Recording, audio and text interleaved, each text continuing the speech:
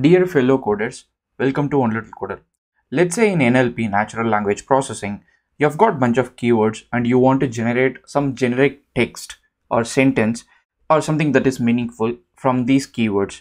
So this is like, you know, um, if you have ever developed uh, or written hints development in your high school or somewhere, where you'll be given a bunch of keywords and then you have to actually form sentences.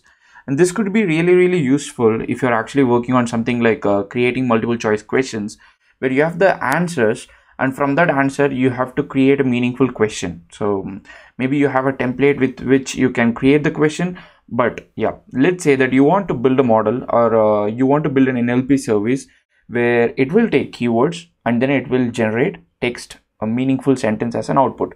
And that is possible thanks to Gagan. Uh, Gagan has created a Python package that's called uh, key to text.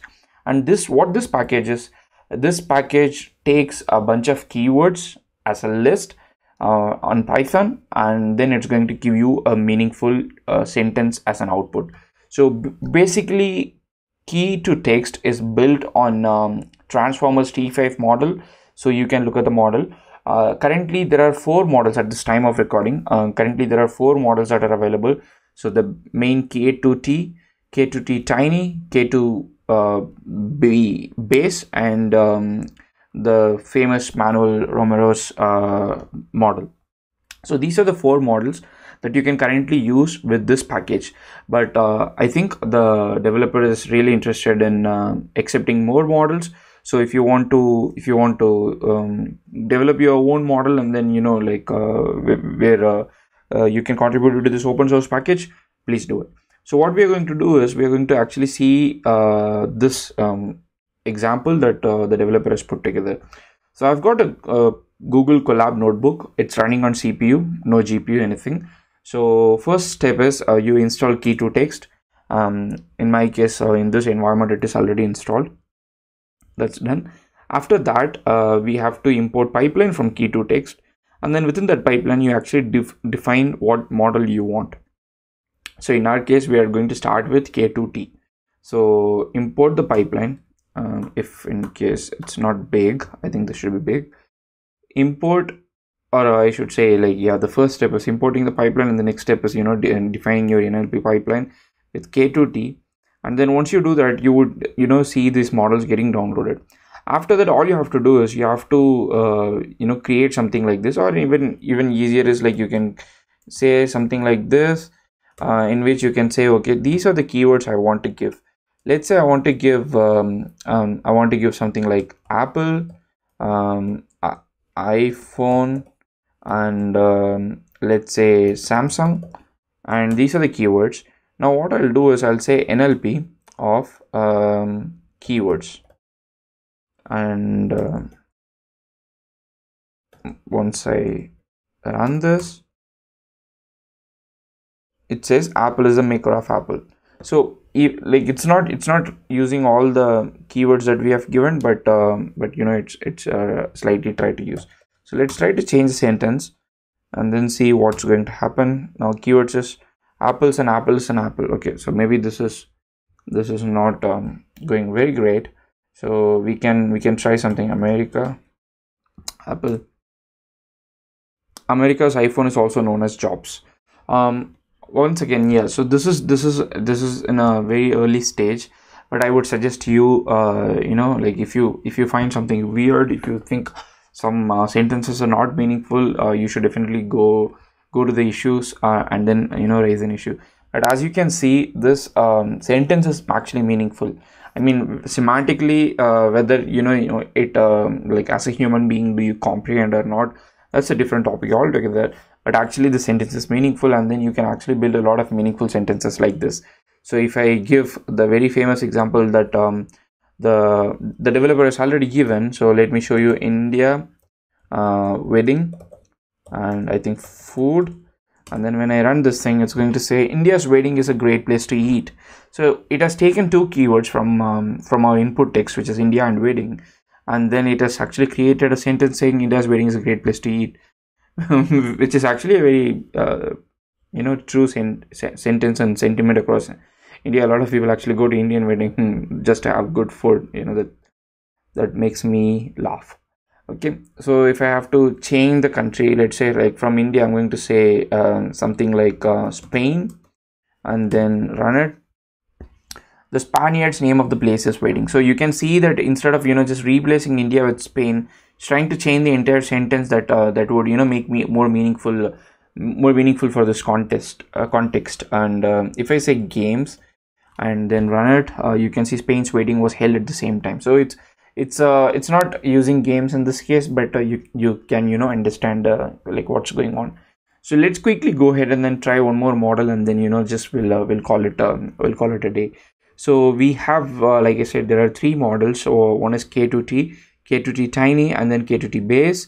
So we just use k2t but uh, you can use any model. So let's let's try to use um manuel romero's model. So i don't know if you have uh, heard about uh, him uh, before ever but uh, he's one of the person uh, with a lot of model uploaded on hugging face. So manuel if if you if you are actually watching this video i'm not sure if you would i i really really appreciate and thank you for all the contributions that you have made to the hugging face model hub. Like people like you actually make um, hugging face model hub a much better place and a lot of um, you know content that uh, people like us you know end up using. Like uh, i'm not i'm not i'm not somebody who you know does research and then uh, do a lot of that kind of work but i'm like more like an applied guy. So pe- people like manuel when when uh, or even to say that gagan when they put their stuff on hugging face um, model hub or data set. So people like me actually we download and then we start using it and practically use it in a workplace and also as hobby project. So thanks to manuel and you know even gagan for doing this kind of work. So let's take this model change this and then run this. Okay so it's it's downloading model so you can see that, that this is in progress. And uh, like i said like if you find anything weird or wrong um, you should def- uh, definitely go to the issue section and then raise an issue like uh, it would make this a much better product. And also as a kind request like i do usually um, if you find this project useful please go ahead and start this repository. This would mean a lot to this developer. And if you think you you know you you can monetarily support this developer uh, there is a sponsor button. Uh, go ahead and then check um, you know how you can sponsor this um, um, this developer who is gagan bhatia so i would uh, definitely encourage you to check this out and i would also link this uh, sponsors page and also the repository and also the google colab in the description so you are free to check it out and then you know help out the developer. Uh, who is also you know going to donate uh, this money uh, for uh, covid relief in india? That's a that's a great thing. That's a very great um, gesture. So getting back to work let's say keywords the same thing and let's just try to run it. So now, now we have a different model and then you can see how the you know the result changes. So initially it was saying like the spain's wedding was held at the same time using k2t model but right now you can actually see the wedding was held in a hotel in the city of a city in spain. So you can see um, you know slightly bigger model and then you can also see the way sentences are shaping up.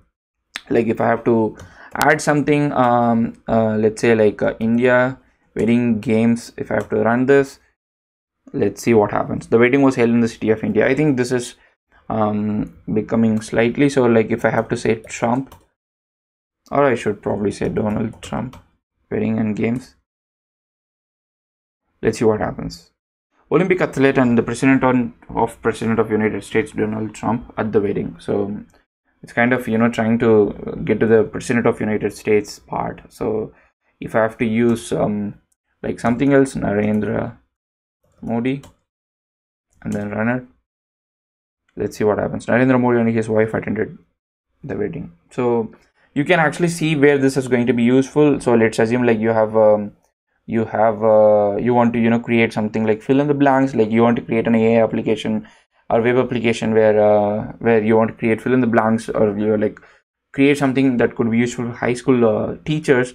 And also you know a lot of times you want to uh, like wh- why do you think models like uh, you know gpt-2 or like gpt-3 or even gpt neo are quite popular? Because um, they help you generate text uh, with a prompt but instead of a prompt here you're actually giving the keywords that will be used in creating this text. And um, i think there are a lot of things that could be improved in this uh, tool um, especially you know how you can integrate it with something else or um, you know specifying like the number of sentences you want the same uh, call or you know the length of the sentence so these these are like nice enhancements uh, I, am sure like uh, Gagan must have uh, must have been you know working hard. Like you can see GitHub issues being raised, uh, GitHub issues being solved uh, continuously. You know there is a I think even um, th- there was a recent commit. Uh, the last commit was like three hours back, so you can actually see that how actively this product is being developed. And if you want to use this product, Google Colab Notebook is something that I would give in the description, which you can use it. But even otherwise uh, you can just directly install it on a local machine. It doesn't need gpu just install it on a local machine and then start uh, you know downloading the app and try it. Or if you want to try it uh, using streamlit there is again another option at this time of recording this video this app was not functioning. I don't know the reason but um, uh, but yeah this is this is the app that the developer has given. Uh, or if you prefer an api especially for bulk um, you know text generation you can there is a docker image you can just pull the docker image run it locally and then you know you can just make api calls. And this is another flexible or a more developer friendly way where you can you can start using this package. If you use this package anywhere key to text please uh, use this citation uh, and uh, you know like um, give proper credit to gagan bhatia. And uh, once again uh, thanks to gagan for making this um, making this open source package. And it is you can see as it is an MIT license this I think this is going to be uh, very useful in a lot of applied NLP tasks. And um, uh, I, I am just waiting for more models to come in. And more models mean like we are going to have higher quality you know better coverage more languages more use cases maybe custom domain uh, fine tuning is something possible like where you can you know create medical related sentences or maybe you can create uh, like marketing related sentences I think the potential is enormous. All we need to do is a little support to the developer and then this is going to be an amazing package. If you have any questions, please let me know in the comment section. Otherwise, I hope uh, you enjoyed this video, you learned something new.